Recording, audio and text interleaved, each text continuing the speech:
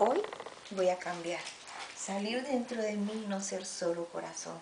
Dejar para fracaso, soltar los brazos y libertad que oprime mi razón.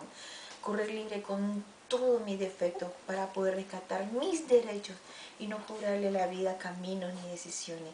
Hoy quiero y debo cambiar, dividirle al tiempo, sumarle al viento todas las cosas que algún día soñé conquistar.